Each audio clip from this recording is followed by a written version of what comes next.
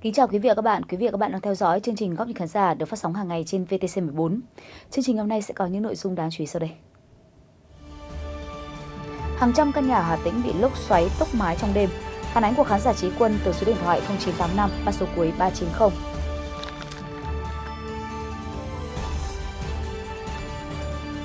Thi thể ba nạn nhân trong vụ sập cầu vòm xảy ra tại công trường nhà máy thủy điện ICT Chiêm Hóa, Tuyên Quang vào chiều ngày 10 tháng 9 đã được tìm thấy. Phản ánh của khán giả Hoàng Nam có số điện thoại 0913 3 số cuối 463.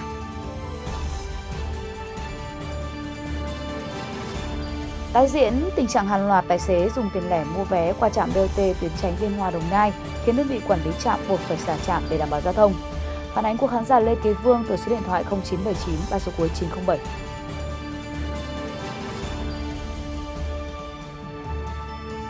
Hot tim cảnh công nhân lau kính tòa cao ốc treo lơ lửng trên không mà không hề có thiết bị bảo hộ an toàn. Clip được khán giả Nguyễn Văn Toàn, chủ nhân của số điện thoại 0913 ba số cuối 623, ghi lại tại thể tại thành phố Nha Trang, Khánh Hòa.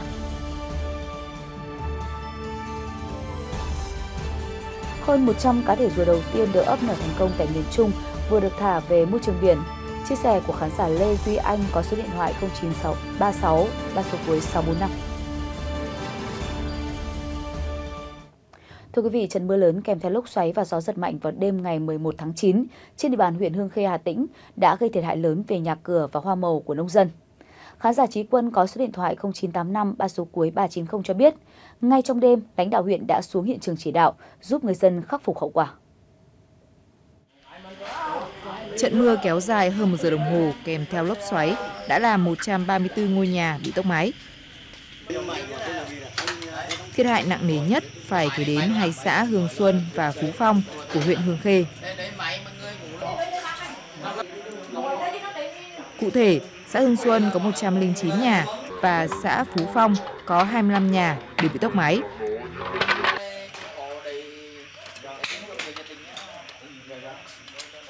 Lốc xoáy cũng làm đứt nhiều đường dây điện, gãy đổ hàng trăm cây ăn quả có giá trị kinh tế cao.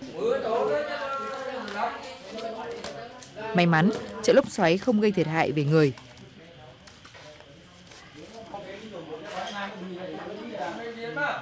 Ngay trong đêm, lãnh đạo huyện Hương Khê và địa phương đã đến kiểm tra, chỉ đạo nhân dân khắc phục thiệt hại, sớm ổn định cuộc sống.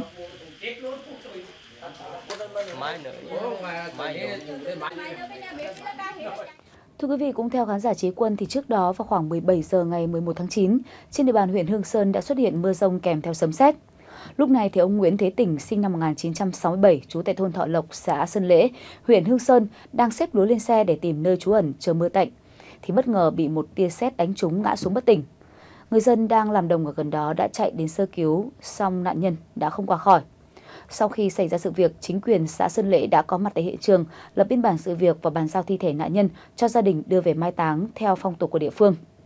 Được biết cách đây 6 tháng thì ông Tỉnh phát hiện mình bị ung thư vòng họng, nhưng do gia đình có hoàn cảnh khó khăn, hai con còn nhỏ, vợ lại bị suy tim độ 3 nên ông vẫn cố gắng làm việc để phụ giúp gia đình. Vào chiều ngày 10 tháng 9, công trình cầu vòm do Công ty Phát triển Cộng đồng thuộc Công ty Cổ phần Đầu tư Xây dựng và Thương mại Quốc tế ICT đang thi công tại huyện Chiêm Hóa, tỉnh Tuyên Quang bị đổ và khiến cho ba công nhân mất tích. Theo thông tin mới nhất từ khán giả Hoàng Nam có số điện thoại 0913 ba số cuối 463 cung cấp, thì sau nhiều nỗ lực tìm kiếm, thi thể đầu tiên được tìm thấy vào khoảng 21 giờ đêm ngày 11 tháng 9.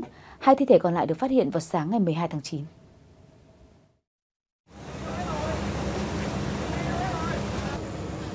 Trước đó, vào hồi 15 giờ 30 phút ngày 10 tháng 9, khi nhóm công nhân đang thi công cầu vòm bắc qua sông Gâm tại công trường nhà máy thủy điện ICT Chiêm Hóa nối liền hai xã Ngọc Hội và Xuân Quang thì bất ngờ hàng trăm mét khối bê tông đổ sập khiến ba công nhân bị vùi lấp, 6 người khác bị thương.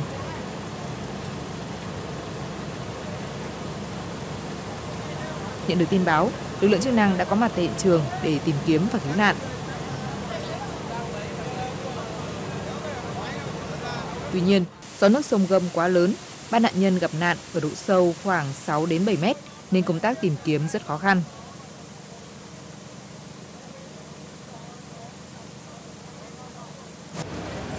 Do đó, lực lượng chức năng đã phải ngăn dòng chảy sông Gâm để nước ở vị trí cầu vòm rút bớt. từ đó thuận lợi hơn cho việc tìm kiếm nạn nhân.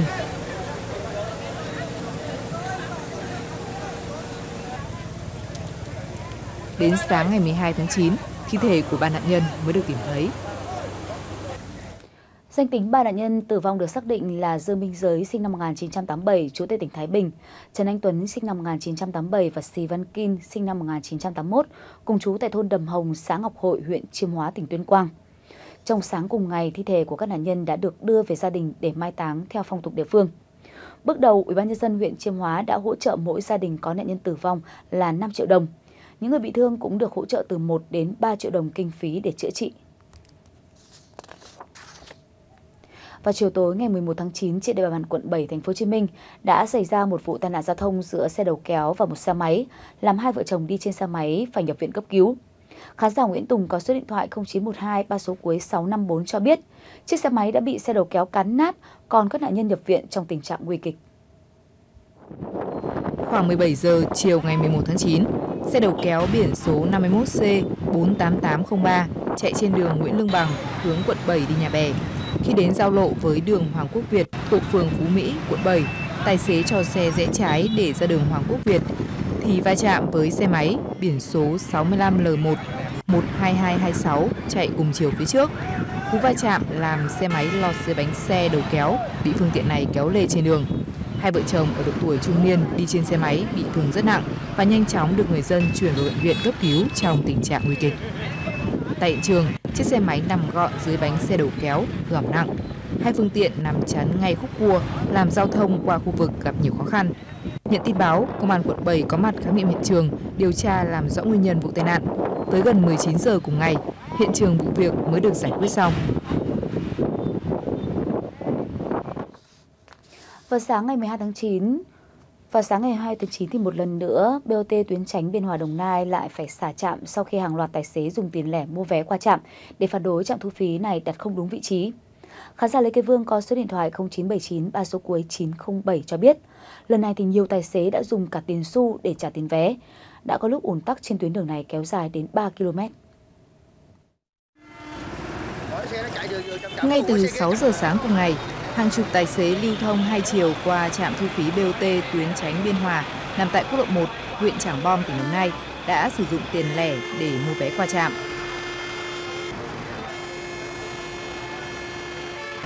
Theo ghi nhận, khi một số lái xe sử dụng tiền lẻ mệnh giá 200 và 500 đồng để mua vé, được nhân viên trạm mời qua trạm để tránh ùn ứ.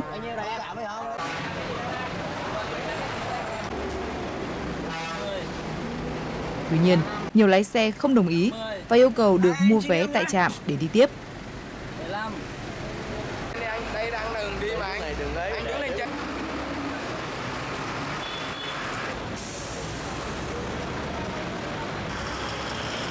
Việc này khiến tình trạng kẹt xe kéo dài khoảng 3 km. Trong đó không chỉ có xe tải, mà hàng ngàn công nhân, học sinh cũng bị mắc kẹt theo.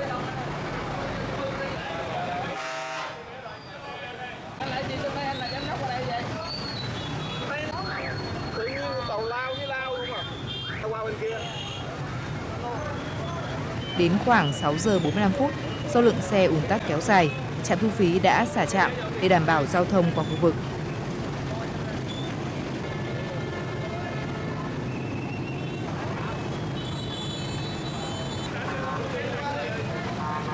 lực lượng cảnh sát giao thông, cảnh sát trật tự, công an tỉnh Đồng Nai đã nhanh chóng đến hiện trường phân luồng, điều tiết giao thông qua trạm. Thưa quý vị, tuyến tránh thành phố Biên Hòa do công ty cổ phần đầu tư Đồng Thuận làm chủ đầu tư, thực hiện theo hình thức BOT, xây dựng kinh doanh chuyển giao dài hơn 12 km. Tổng vốn cùng với đoạn cải tạo 10 km quốc lộ 1 là 1.500 tỷ đồng.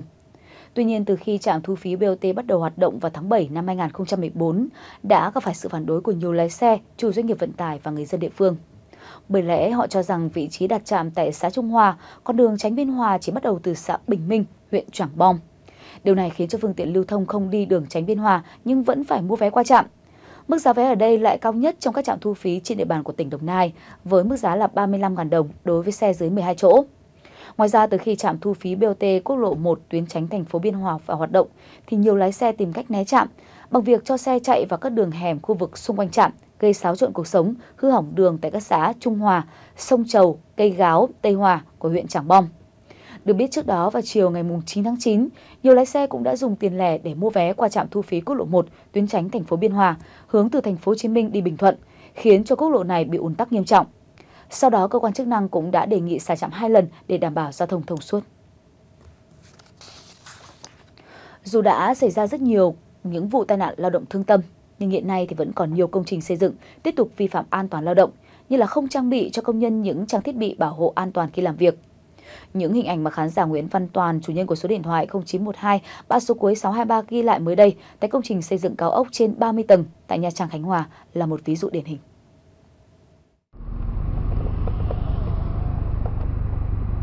Những hình ảnh mới được ghi lại tại công trình xây dựng những tòa cao ốc trên 30 tầng nằm trên đường Phạm Văn Đồng, ngay bãi tắm Hòn Trồng, Nha Trang. Các công nhân hành nghề lau kính treo mình lơ lửng trên không nhưng lại không trang bị bất cứ thiết bị an toàn nào.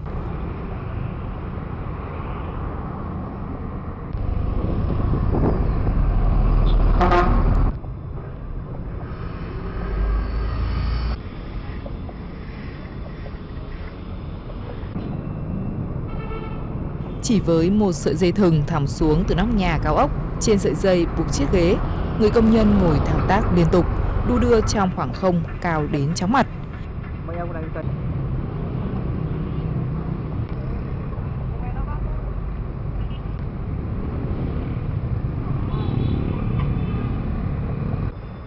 Chỉ một chút bất cẩn rất có thể sẽ dẫn đến những tai nạn nghiêm trọng. Thưa quý vị, theo tìm hiểu của anh Toàn thì những người hành nghề lau kính trên thì đều được trả lương theo từng ngày làm, làm ngày nào hưởng công ngày đó. Không phải là công nhân chính thức nên họ không được hưởng chế độ bảo hộ an toàn lao động theo quy định. Gửi clip tới chương trình, khán giả Nguyễn Văn Toàn hy vọng các ban ngành chức năng sẽ kiểm soát chặt chẽ hơn công tác đảm bảo an toàn lao động để những việc làm nguy hiểm như trên sẽ không còn tái diễn.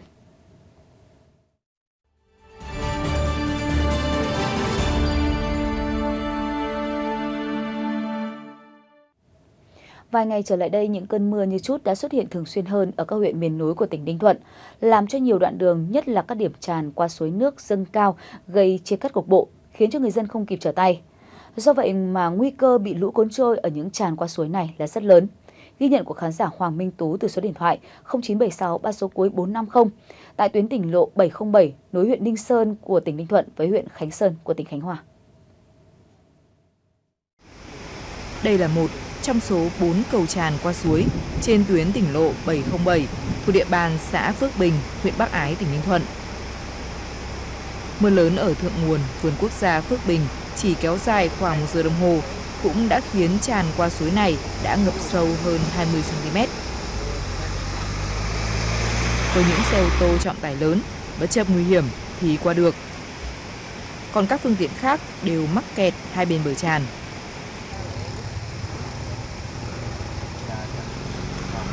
Tuy nhiên, nguy hiểm nhất là có quá nhiều em nhỏ hàng ngày vẫn di chuyển qua tuyến đường này. Theo phản ánh của khán giả Hoàng Minh Tú thì tuyến tỉnh lộ 707 nối huyện Ninh Sơn của tỉnh Ninh Thuận và huyện Khánh Sơn của tỉnh Khánh Hòa có chiều dài khoảng 25 km. Không chỉ có những bờ tràn thấp cắt ngang qua suối mới tiềm ẩn nguy hiểm, mà những bờ ta luy ven chân núi khi có mưa lớn cũng bị sạt lở đe dọa đến tính mạng của người dân. Trên thực tế đã từng có một người bị nước cuốn trôi dẫn đến thiệt mạng khi băng qua tràn nước xoáy trên tỉnh lộ này. Vào cuối tháng 8 năm 2017, khu sinh quyền và Ban Quản lý Bảo tồn Biển Cù Lao Chàm, thành phố Hội An, tỉnh Quảng Nam đã vận chuyển 450 trứng rùa đã ấp khoảng 40 ngày thuộc vườn quốc gia Côn Đảo về Cù Lao Chàm để tiếp tục ấp. Mới đây thì những chú rùa đầu tiên được ấp nở thành công tại bãi Bắc, xã đảo Tân Hiệp bắt đầu cuộc sống mới ở khu sinh quyển thế giới Cù Lao Chàm, trong niềm hân hoan của những người làm công tác bảo tồn biển và cư dân trên đảo. Đó là nội dung chia sẻ mà khán giả Lê Duy Anh có số điện thoại 0936 ba số cuối 645 đã gửi tới chương trình. Mời quý vị và các bạn cùng theo dõi. Trong hai ngày mùng 9 và mùng 10 tháng 9, Ban Quản lý Bảo tồn Biển Cù Lao Chàm đã đưa hơn 130 cá thể rùa con khỏe mạnh về với môi trường biển. Rùa con thường bơi ra xa khoảng 3 đến 5 mét, thì quay đầu nhìn bờ rồi tiếp tục bơi ra biển cả mênh mông. Đây là cách để những con rùa trưởng thành trở lại sinh sản khoảng 30 năm sau. Nhìn những chú rùa con tung tăng theo từng đợt sóng, những cán bộ bảo tồn biển của Lao Tràm đã 10 ngày ăn ngủ cùng với những quả trứng, có lẽ là người xúc động nhất. Đây là một quá trình cũng rất là gian nan à, và và rất đầy cảm xúc. Tức là từ khi mà chôn chôn trứng rùa từ con đảo về tại cái bãi biển cát của của Lũ Tràm á, thì chúng tôi có nhiều cái cái cảm xúc rất là là là là, là lẫn lộn, vừa mừng mà vừa lo, không hiểu rằng cái mảnh đất của cù Lũ Tràm này nó có nở được những con rùa từ con đảo hay không.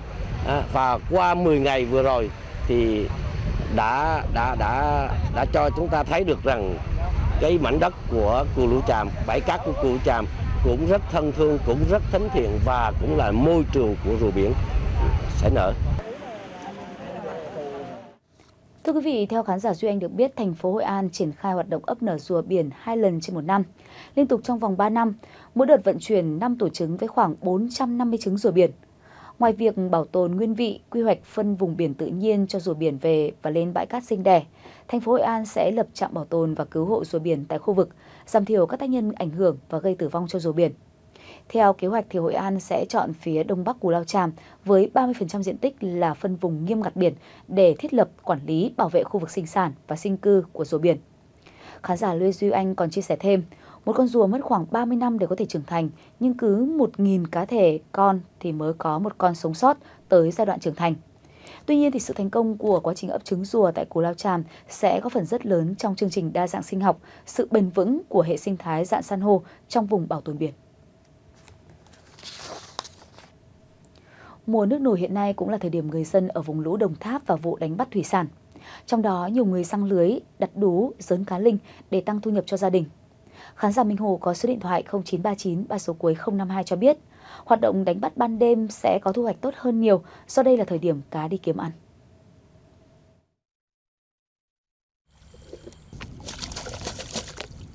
Với khoảng chục bộ đú, dớn dùng để đánh bắt thủy sản, những ngày này, ông Trần Văn Ứng ở xã Tân Hội, thị xã Hồng Ngự, tỉnh Đồng Tháp đã răng bắt cá trên đồng nước nổi ở xã Thường Thới Tiền.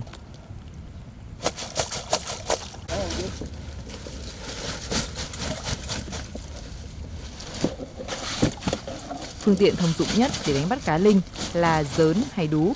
Loại lưới cước có chiều dài từ 100 đến 150 mét.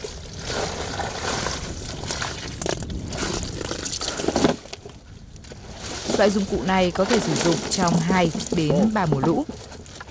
Được ha. Đêm nào cũng vậy, khoảng 1 đến 2 giờ khuya, vợ chồng ông lại đi thăm dớn, bắt được vài kg cá linh. Vào những đợt cao điểm, lượng cá linh và cá mồi bắt được có thể lên tới vài chục kg. Từ đây, họ lại đổ mối cho thương lái. Đêm 5 kg, 3 kg cũng có 7 5 kg có có linh. À, mình mua về cái khoảng 4 giờ là nó cần độ sớm bị đi xa nó đổ trễ rồi nó nó đâu có cần kịp. Con làm lâu lắm rồi con làm cũng mười mấy năm nay rồi. Mà đi đạt đủ chỗ hết con đồng nào cũng đi hết chỗ nào đồng nào có cá là đi rồi Thưa quý vị, cá linh là loại cá có thiên nhiên ban tặng mỗi năm và xuất hiện từ tháng 7 cho đến tháng 11. Loại cá này đã trở thành đặc sản riêng của vùng đồng bằng sông Cửu Long và có thể chế biến thành nhiều món ăn như là kho lạt với me, nấu canh chua bông điên điển, chiên với bột hoặc là làm chả cá linh, được người tiêu dùng ưa chuộng. Năm nay nước lũ về sớm nhưng cá lại ít vì nước lên nhanh nên việc đánh bắt cá linh của bà con bị thất thu. Mặt khác, cá linh thời điểm này đã lớn nên giá bán cũng giảm hơn. Nếu như đầu mùa cá bán tại nơi đánh bắt là từ 60 đến 70 ngàn đồng một kg, thì hiện tại chỉ còn khoảng từ 20 đến 30 ngàn đồng một kg. Thậm chí cá linh làm sẵn cũng chỉ có vài chục ngàn một kg. Dù vậy thì số tiền thu được từ việc đánh bắt cá linh cũng vẫn giúp ích được rất nhiều cho người nông dân.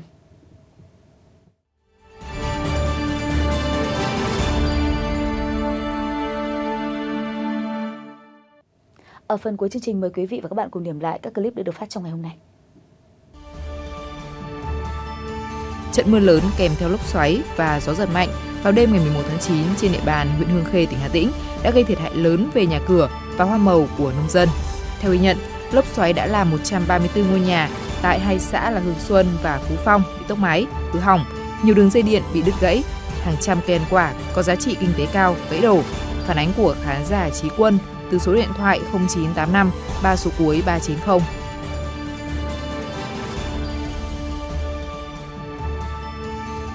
Sau nhiều nỗ lực tìm kiếm, đến sáng ngày 12 tháng 9, lực lượng cứu hộ đã tìm thấy ba nạn nhân mất tích trong vụ sập cầu vòm tại khu vực nhà máy thủy điện ICT Chiêm Hóa Tuyên Quang xảy ra vào ngày 10 tháng 9.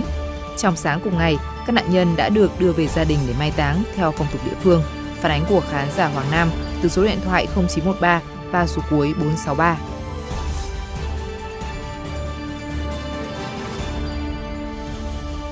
Chiều tối ngày 11 tháng 9, trên địa bàn quận 7, thành phố Hồ Chí Minh đã xảy ra một vụ tai nạn giao thông giữa xe đầu kéo và một xe máy. Chiếc xe máy đã bị xe đầu kéo cán nát sau khi kéo lê trên đường. Hai vợ chồng đi xe máy phải nhập viện trong tình trạng nguy kịch. Thông tin và hình ảnh do khán giả Nguyễn Tùng từ số điện thoại 0912 3 số cuối 654 cung cấp.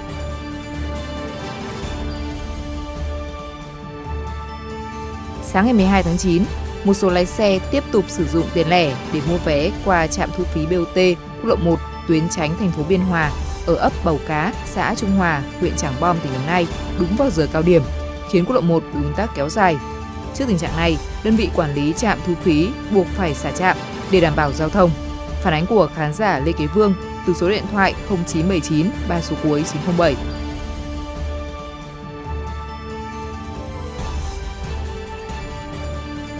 Các công nhân lau kính tại công trình xây dựng những tòa cao ốc trên 30 tầng nằm trên đường Phạm Văn Đồng, ngay bãi tắm Hòn Trồng, Nha Trang, Khánh Hòa, không hề được trang bị thiết bị bảo hộ theo quy định.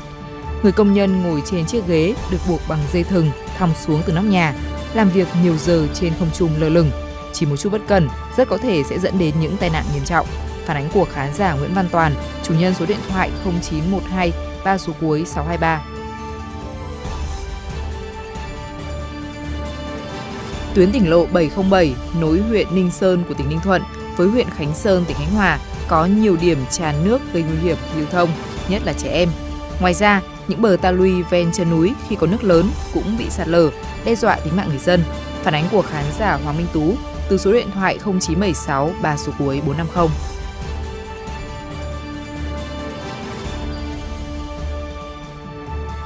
Cuối tháng 8 năm 2017, khu sinh quyền và ban quản lý bảo tồn biển Cù Lao Tràm, thành phố Hội An, tỉnh Quảng Nam đã vận chuyển 450 trứng rùa đã ấp khoảng 40 ngày thuộc vườn quốc gia Côn Đảo về Cù Lao Tràm để tiếp tục ấp. Mới đây, những chú rùa đầu tiên được ấp nở thành công tại Bãi Bắc, xã đảo Tân Hiệp, bắt đầu cuộc sống mới ở khu sinh quyển thế giới Cù Lao Tràm trong niềm hân hoan của những người làm công tác bảo tồn biển và cư dân trên đảo. Chia sẻ của khán giả Lê Duy Anh có số điện thoại 0936 3 số cuối 645.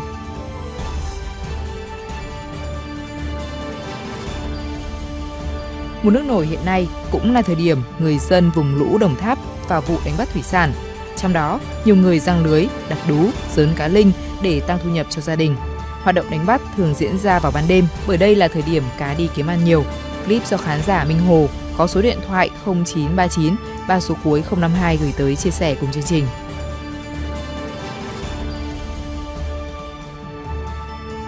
Chương trình góc nhìn khán giả ngày hôm nay của chúng tôi xin được khép lại tại đây. Nếu có thông tin hình ảnh cần chia sẻ, quý vị khán giả có thể gửi thư về địa chỉ email là góc nhìn khán giả a.vtc.gov.vn hoặc quý vị có thể gọi điện đến số điện thoại liên lạc của chương trình là 0904 88 1414. Còn bây giờ xin được kính chào tạm biệt và hẹn gặp lại quý vị và các bạn ở những chương trình lần sau.